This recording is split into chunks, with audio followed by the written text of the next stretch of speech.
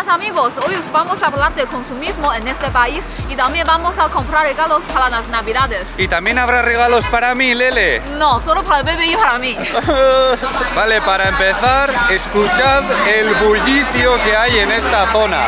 Son los establecimientos anunciando sus ofertas a través de altavoces. Ya os dijimos que es algo bastante habitual en las calles comerciales de este tipo y aunque a mí si fuese vecino de este barrio me molestaría muchísimo, es un elemento que forma parte del ambiente de compras. O sea, sería muy raro venir aquí en estas fechas de ajetreo y que tuviesen los altavoces apagados. Por supuesto que hay denuncias por estos motivos, pero normalmente las multas por este tipo de actividades económicas, siempre y cuando no sean algo muy grave, suelen ser bastante bajas. Yo diría que incluso irrisorias. Lo más habitual si alguien se queja es que venga una especie de policía municipal y que te dé una advertencia. Oye, tienes que bajar el volumen del altavoz.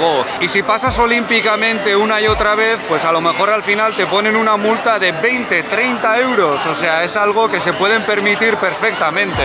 Mi madre también lo hacía en su zapatería, aunque a mí no me gustaba nada. ¿Y alguna vez la multaron en todos esos años? No, solo un aviso. El único momento prácticamente en el que se respeta el silencio en estas zonas es durante los exámenes de acceso a las universidades, porque ya sabéis que es un momento muy importante para los adolescentes de este país, muchos se juegan su futuro en esos días y la gente entiende que es importante que puedan estudiar tranquilos. Estas señoras que suelen estar con sus puestos vendiendo en el centro ofrecen castañas de agua, aunque en realidad son un tipo de tubérculo que se cultiva en terrenos inundables, como el arroz.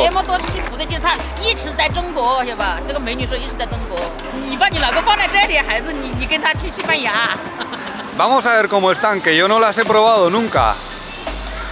Oye, pues un regustillo a castaña sí que tienen, ¿eh? Seguramente por eso le habrán puesto el nombre.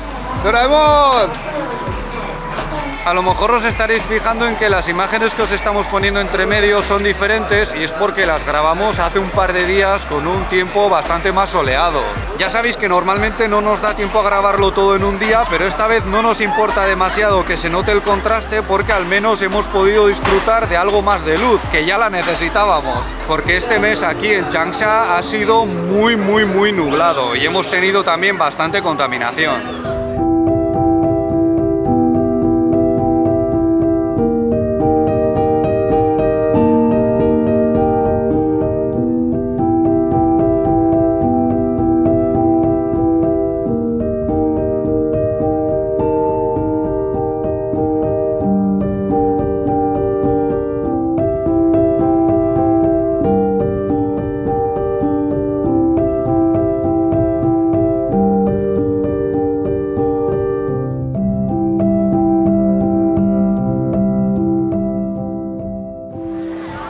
Último vídeo ya os dijimos que en China la Navidad está presente en muchas actividades comerciales porque va muy bien para aumentar las ventas. Es relativamente fácil encontrarse árboles de Navidad, Papá Noeles, lucecitas... Pero es que además las Navidades llegan justo después de dos festivales de consumo muy famosos que son el del Día de los Solteros y el del 12 de diciembre. Y además caen poco antes del Año Nuevo chino, cuando se supone que también hay que comprar cosas para dar comienzo al nuevo ciclo como Confucio manda. Entonces se puede decir que aquí la Navidad es una cita más en una larga temporada de consumo que va desde mediados de noviembre hasta casi marzo.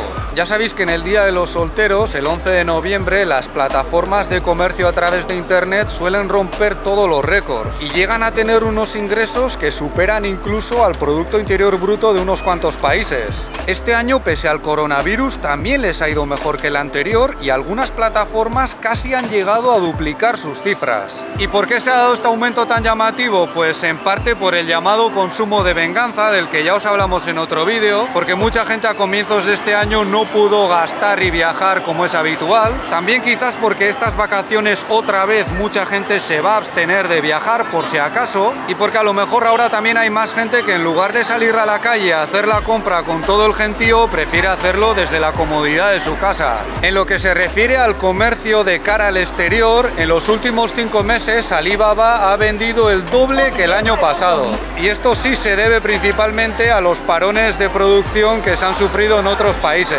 Y a lo mejor al enterarse de estos datos algunos pensarán, uy, qué bien les ha ido el coronavirus a las empresas chinas, ¿no? Sí, pero las empresas extranjeras que producen y venden en este país también se están beneficiando mucho de la vuelta a la normalidad en términos económicos. Nosotros ahora mismo no tenemos esos datos, pero seguro que son bastante jugosos y a más de una multinacional le habrán salvado el año. O sea, si en esta parte del mundo no nos hubiésemos recuperado, seguramente ahora estaríamos bastante peor en todas partes.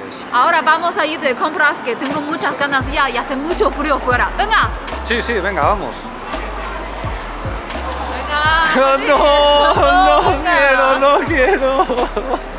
A ver, esto que veis aquí es un robot, son cada vez más habituales en los centros comerciales. Y este en particular te puede ayudar si estás perdido o si necesitas indicaciones para comprar lo que sea. 卫生间在哪儿？已为您找到三层的洗手间，现在为您导航到其中的一个。 Vamos a ver si el robot entiende mi mandarín. A ver, 我帅不帅？你很帅呀、 需要我帮你做什么呢？谢谢。你会说西班牙语吗？我还不会，不过你可以问我屏幕上的信息哦。Obviamente el robot está programado para ofrecer servicios relacionados con este centro comercial. A ver, a ver, yo pensaba que tendrían unos pocos robots, pero este ya es el quinto con el que nos cruzamos.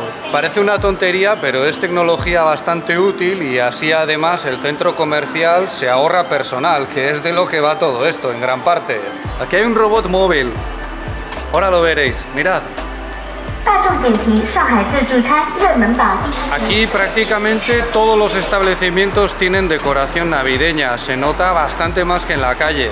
A mí personalmente los centros comerciales no me dicen mucho, pero son muy populares en China y yo creo que son una manera informal de medir el desarrollo de los pueblos y ciudades. Por ejemplo, si tu localidad cuenta con un centro comercial Wanda, se supone que está ya en otro nivel.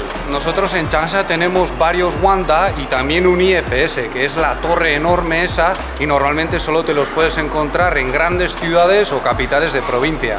Sociología y antropología a veces solemos llamar a estos espacios no lugares, tal y como los denominó Marc Auger, porque son sitios sin identidad, sin carácter y pueden llegar a ser muy parecidos estés en China o en España.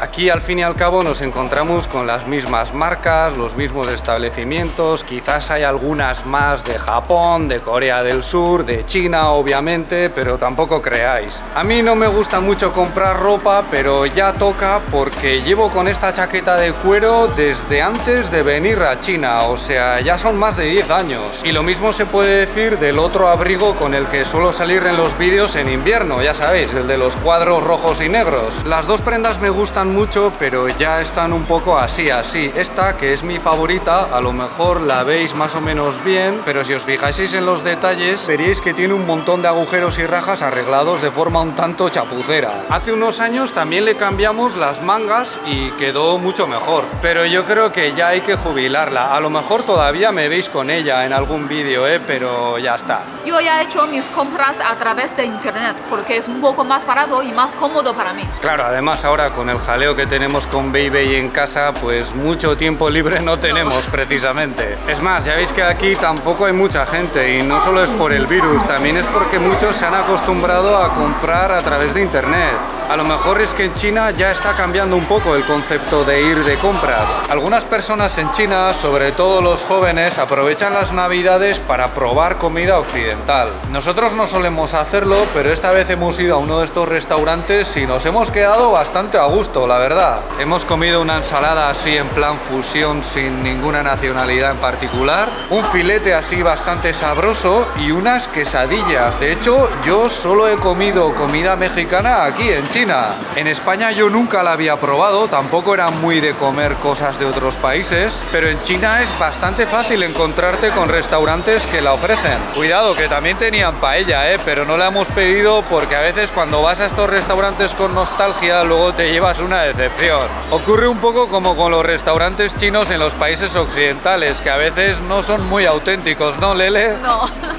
Bueno, ¿y en China la gente se hace regalos igual que hacemos nosotros en Navidades? Pues sí y no. Porque, por ejemplo, en las fiestas de Año Nuevo, que esta vez caen en febrero, la gente se suele regalar unos sobres rojos con dinero dentro. Y a lo mejor algunos pensaréis, dinero, eso es un poco frío, ¿no? Claro, pero es que aquí el dinero también se entiende de forma un poco diferente. En gran parte porque las religiones de salvación nunca llegaron a tener la influencia que tuvieron en muchos países occidentales. Para muchos cristianos seguramente el dinero es el mayor símbolo de los intereses mundanos en oposición a los intereses relacionados con el más allá, con el reino de Dios. O sea, necesitamos el dinero para vivir, pero a la vez lo repudiamos porque representa toda una serie de deseos bajos, por así decirlo. Pero en China el dinero no se entiende de forma tan contradictoria, digamos, y todo esto de regalarlo se vive de forma muy natural y muy práctica. Pero no penséis que aquí en China los niños cuando reciben dinero pueden gastárselo como les dé la gana. No, no, no. Muchas veces acaba administrado por los padres